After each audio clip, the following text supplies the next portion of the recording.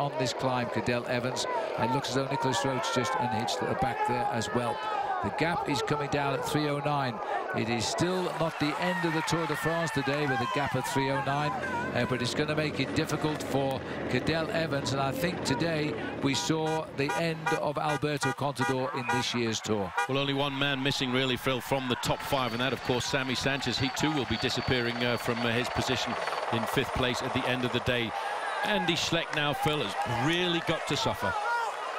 But what, a day, what a day to suffer, knowing now with every pedal rev and two and a half kilometres left to climb, he's climbing to the Maillot Jaune at 3.06, and he started to nibble it out again and back again. They are climbing at the same speed now. They're both finding these last couple of kilometres just about at their limit. Well, I'm amazed by the yellow jersey of Thomas Voeckler. I think, once again, the tactics of the race, the way they're riding this race, the tempo riding they're doing, actually plays into the hands of Thomas Voeckler. This year's Tour de France will allow this Frenchman to start to dream about possibly coming to the Tour de France next year and trying to win it for France, a title they haven't earned since 1985 and Bernard Hinault. Well, uh, it's been a magical tour for the French in many ways, although they haven't won a single stage. They've certainly flown the yellow flag. At coming up to two kilometres to go, Cadel Evans is now is fighting for his very tour life here. Tomorrow we have one more big day in the mountains, then the time trial. But the way it's beginning to look, Cadel Evans is just going to have to work out how to get rid of Andy Schleck tomorrow in the mountains. Schleck looking over his shoulder, looking down at the uh, the curves and the straight lines a little bit further down the road there, just to see if he can see what is happening. That should be two kilometres to go, that banner yep. they've gone by. Two kilometres to go. At the moment, it looks like this. Uh, Thomas Voeckler will stay in second place at half a minute. Cadel Evans will be in third at a minute 48. Frank Schleck will be fourth and Contador 3.45. And there is confirmation of Alberto Contador the champion of the Tour de France the past two years is yo-yoing on his favourite playground. And I think that's the end of the Tour de France for him as a winner this year. Well, that's what Andy Schleck felt, you know, Phil. He said that the Tour de France would be decided in the last week of the race. It was all about the freshness. Alberto Contador's got the Giro d'Italia in his legs. Don't discount the man. He's got a huge heart and he's got a huge bag of courage and he's pulled himself back into this group. But yes, he's Pride. having a hard time. Pride has done that. Pride has forced him to come back onto the back of that group. He knows now they're coming up to the last two kilometres of the day. It's been a real tough fight for the champion of the past two years and a three-time Tour winner. He come back, but he's gone again. Well, he tried with everything. That was the pride of Spain on his shoulders there, trying to push him back into that group. I'm amazed also by the ride of Damiano Cunego, the, the prince, the little prince, they call him, from Italy. He's riding comfortably in that group, and he's going to have his best ever Tour de France finish this year. Well, if he gets 19 seconds on Contador, he climbs over him in the overall classification. That will put Cunego into sixth place in the Tour de France. I think you might find he'll be up into fifth place tonight because Sanchez has already gone from the group. Evans continues to fight to try and round it out to three minutes before Andy gets up to the finishing line.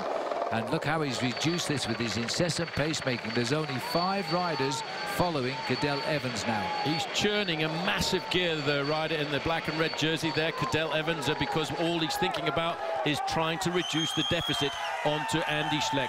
Alberto Contador, well, he's just got to survive now and try and limit his losses because he could be plummeting down the overall standings and maybe looking at himself dropping outside the top seven or eight. May well decide to retire from the Tour, but I don't think champions do that sort of thing. And Alberto Contador will try again tomorrow, possibly to win at Alpe d'Huez. Well, Cadel Evans has finally managed to bring it inside of the three-minute mark, and still no one helping him, and still in contact there is little Thomas Voeckler. Well, if it comes down to 236, and it's unlikely now, but, you know, Thomas Voeckler may be out of yellow tonight, but we'll be talking by only a few seconds as all the cheers on top of the Col de Galibier now go to this remarkable ride today. One of the great rides in modern times by Andy Schleck in the Tour de France. He took the race halfway up the Izoard, knowing he had to go early, and he took the risk of blowing his whole Tour de France out the window, and it isn't going to be the case. He should get the yellow jersey tonight. The chase is at two kilometres to go. Separated by a kilometre. That on the slopes of a mountain like this uh, corresponds to three minutes. I just saw the tunnel over to the left-hand side, and now he's on the final part of this climb. Alberto Contador is on the back foot in the Tour de France this year. He's never really looked very comfortable at all. Well, it's a sorry sight to see because Alberto Contador, when he's climbing so well, he's the greatest climber in the world. But I think he's tired, as Paul has said, from the way he dominated the Giro d'Italia.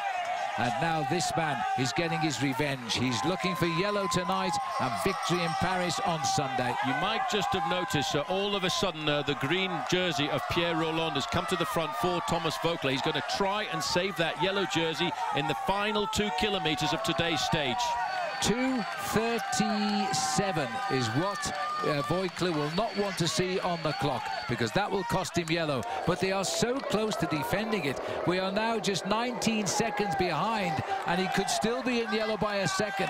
This is how he lost to uh, eventually to Lance Armstrong. Well, there's a little word there coming from Voeckler. Come on, let's keep this yellow jersey. He's really struggling. Evans, Evans is just there. He's come back. They saw that the French did not have that power. The dream was to try and protect the yellow jersey of uh, Thomas Voeckler this afternoon, but there was no power in the engine room when they shouted down for it, so it's still up to Cadel Evans. This has been a great fight by Cadel Evans. He's been left alone here. It's been an easy ride for Frank Schleck in many ways in the black there, who's watched his brother fly away today. But look now, look now, 2 minutes 44. There is still a chance here for Voeckler to keep his lead. Andy is just praying for the end of the stage now. I think the legs have cried enough is enough. He's fighting now. Uh, yes, he's getting time gains, but is he going to get yellow? But what is he going to do tomorrow? He's got to come about and do this all over again as Cadel Evans slowly pulls it back. 241, the yellow jersey, 240. It's now starting to tip towards the conservation of the yellow jersey by Thomas well, Voeckler. And he's going to have to say a big thank you very much, mate, to Cadel Evans. Absolutely. 236 and Voeckler keeps yellow and it is tumbling down. Andy Schleck is now absolutely on his limit here. Where oh where is the finishing line as the clock continues to descend? It is 240 and falling. The empty road of the Col de Galibier. One man against the field and the clock. The clock at one kilometre to go, Phil, has just said uh, that 2.35. So Thomas Voeckler has climbed himself back into the overall I leader. I don't believe this is an incredible tour. take your hat off to this man today. He has been uh, uh, the most magnificent attacking cyclist in modern times in the Tour de France. Uh, but he's a matter of a kilometre too far. The legs are folding beneath his body here as he comes up to the line. He will win the stage, and that he thoroughly deserves. And he might win the Tour de France by Sunday. But is he going to be in yellow tonight, or is this incredible Frenchman, Tommy Voeckler, going to be in yellow for the 10th day? And he gets it. The clock starts now. Well, he wanted that. What an incredible performance by him. And now it's just a question, Phil, of watching that clock and watch it. Watch out for Frank Schleck moving up here a little bit. Let's not forget they're thinking about getting themselves uh, first and second at the end. Damiano Cunego has now dropped off the back, but still a great ride by the man from Lampre. Two minutes 37 seconds is the, the time that will be wanted to be seen by Andy Schleck to be the yellow jersey tonight. But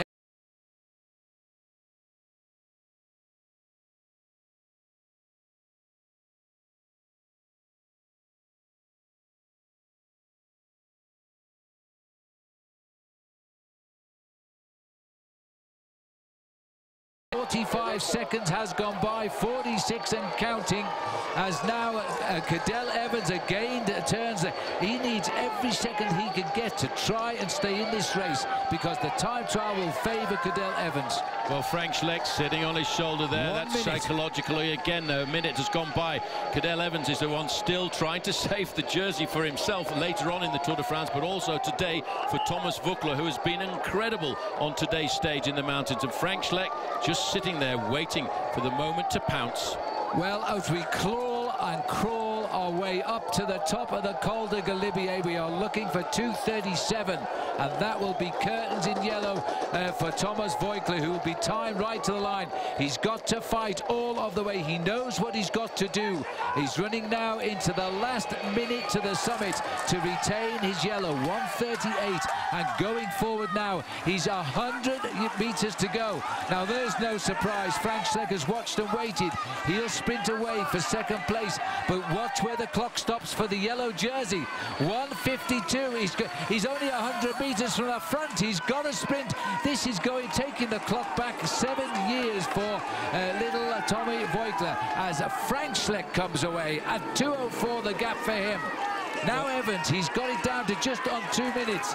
He was 118 behind, now he's a not that far behind overall.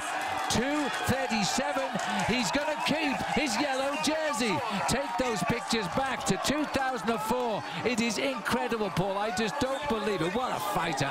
Unbelievable. I don't think very many people would have given him a chance of keeping the overall lead this afternoon, but there's not very much in it, Phil. What kind of a day is it setting itself up for tomorrow? Well, absolutely. There have been heroes galore today in the Tour de France. The biggest of them all, I suppose, yes, is Andy Schleck. But this man 10 days in yellow now and refuses to lie down. And Cadel Evans had to fight to stay in the Tour de France today, and he's achieved that as well. There are three winners today. There are three winners, and I tell you what, Phil, it's going to be a very interesting day tomorrow. Alberto Contador at the kilometre to go banner was over a minute behind this group at 3 minutes and 30 seconds, so his Tour de France has disappeared, and he's all over the road here, number one, Alberto Contador. Well, it's a sad sight to see the number one, the man who's won the Tour de France three times. He's looked infallible in the mountains. Tommy Danielson's also consolidated his place in the Tour de France tonight in the ninth overall, but he's closed in as well. Uh, he had a bit of work to do to get higher than ninth. Ryder Hesjedal coming in as well. And at the back, we've got Christian Vande Velde. Well, so they've kept their lead clearly they, and increased it in the team race for Garmin Cervelo. Absolutely, they'll be very happy with that as we can see coming in Haimar Zubeldia, Jelle Vanendert, but behind him, he'll be surprised to be finishing in front of Alberto Contador on a day like today. And my quick calculation, Phil, is that, in fact, uh, Thomas Voeckler has kept his overall lead by 15 seconds. And on a similar situation back in 04 against Lance Armstrong, he kept it by, I think it was 22 seconds. And that man won't give up, will he? No, he won't. And I tell you what, we're going to see a great battle tomorrow. And uh, just be careful tomorrow. It may well be there's still uh, the Schleck 1-2 because Andy Schleck, Andy Schleck's brother Frank had a very easy ride here this afternoon. And he's won on Alpe before. Well, let's have a look at the results then on this amazing day, living up to the Alps for sure. Schleck wins 207 in the end over Bro Frank, 215 over Cadel Evans, 18 over Ivan Basso, 221 over Thomas Voeckler. Pierre Rolland, Voeckler's teammate, was sixth. Cunego seventh. Tire Rein Talamay of, of, the French team was eighth. Tommy D had a terrific ride today, and the Garmin Cervelo boys, Christian Vande Velde there as well, have probably increased their lead tonight in the Tour de France team race. So they'll be as pleased as everybody else in the Tour at the top of the Galibier.